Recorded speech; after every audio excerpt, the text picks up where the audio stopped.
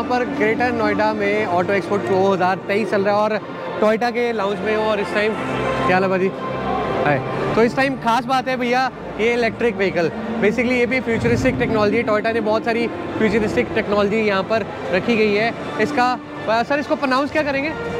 Pronouns क्या करेंगे इसको गाड़ी को? B G four X BG हाँ।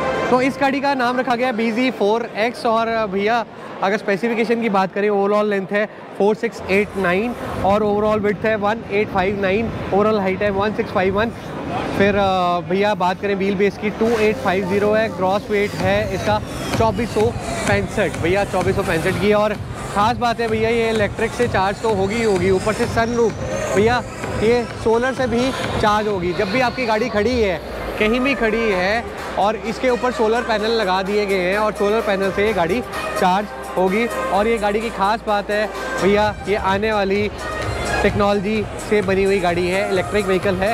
लेकिन इलेक्ट्रिक व्हीकल में एड ऑन क्या दे दिया भैया? सोलर पैनल अगर फ्रंट लुक की बात करें तो फ्रंट लुक की बात करें तो देखिए इट इज़ लुकिंग डैशी बहुत ही डैशी है।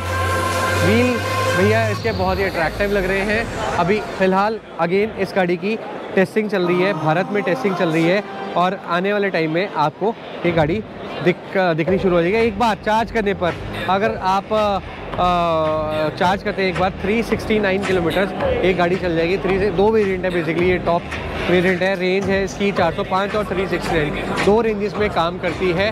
जैसे ही खड़ी होगी, खड़ी होने के बाद भैया ये ऑटोमेटिकली चार्ज होने वाली व्हीकल है। आप इसकी अंदर से सीट्स भी देख सकते हैं अच्छे से।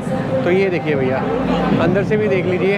अगर आप इसकी स्क्रीन देख रहे हैं बेसिकली ये ये बाहर लॉन्च हो चुकी है, चाइना में लॉन्च हो चुकी है और कुछ कंट्रीज़ में लॉन्च हो चुकी है, लेकिन फ़िलहाल ये भारत में लॉन्च नहीं हुई है। बैक की बात करें भैया, जो टेल लाइट्स है tail lights is also very attractive boot space इसका अच्छा लग रहा है।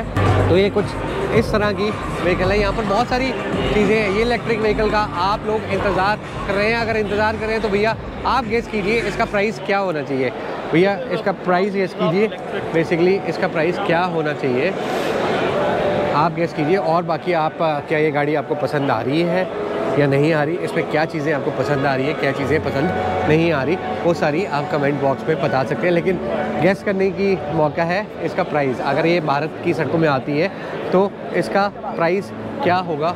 वो देखने वाली बात होगी। आने वाले दिनों में ये आपको देखने को मिल जाएगी। आई डोंट नो आती है, एक साल बाद आती है छः महीने बाद आती है, फ़िलहाल इसकी भी टेस्टिंग शुरू हो चुकी है। मैंने टोयटा के भैया बहुत सारे व्हीकल दिखा रहा हूँ, जिसकी फ़िलहाल एग्रेसिवली टेस्टिंग चल रही है। और हेलो भाई भाईजान। तो आने वाले टाइम में भी ये सारी गाड़ियाँ जब लॉन्च हो जाएँगी हाइब्रिड टेक्नोलॉजी है हाइड्रोजन टेक्नोलॉजी है तो ये सारी चीज़ें आने वाले टाइम में भैया सेंटर ऑफ़ रोड बनेगी। सब सब गाड़ियों का बेसिकली एक ही मोटिव है भैया पोल्यूशन कम करना है। बेसिकली पोल्यूटेड बहुत हो रहा है। इस टाइम नोएडा में भी बात करें तो पोल्यूशन है, पंजाब में पोल्यूशन है, दिल्ली में पोल्यूशन है, उन सब पोल्यूशन को कम करने के लिए भैया इस तरह के व्हीकल को इंट्रोड्यूस किया जा रहा है। आने वाले दिनों में, आने वाले सालों में ये सारी टेक्नोलॉजीज़ चलने वाली है। ये सारी, सर ये ए का मतलब क्या है? ऑल व्हील ड्राइव अच्छा ये 360 four fifty two litre boot space कितना है? तो इसका बूट स्पेस है 452 लीटर ओ हो हो सर एक बार खोल के भी दिखा दीजिए। तो भैया आपको दिखा रहा है। अच्छा ये ऑटोमेटिकली खुलेगा। सुपर अरे वाह। सुपर तो ये देखिए।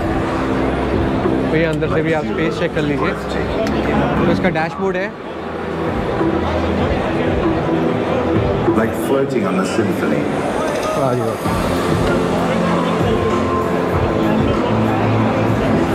तो लेफ़्ट हैंड ड्राइव के हिसाब से बनाई हुई है फॉरन के हिसाब से बनाई हुई है। ये इसका डैशबोर्ड है। ये ये इसकी स्क्रीन है। ये देखिए, ये इसकी सीट्स है। ये आपको पहली बार यहाँ पर देखने को मिल रहा है और भी काफ़ी ब्लॉगर से बनाया होगा। पीछे भैया, पीछे देखिए आम रेस्ट वगैरह। सब कुछ अच्छी बना रखी है। क्रोम फिनिशिंग के साथ। वाह जी वाह।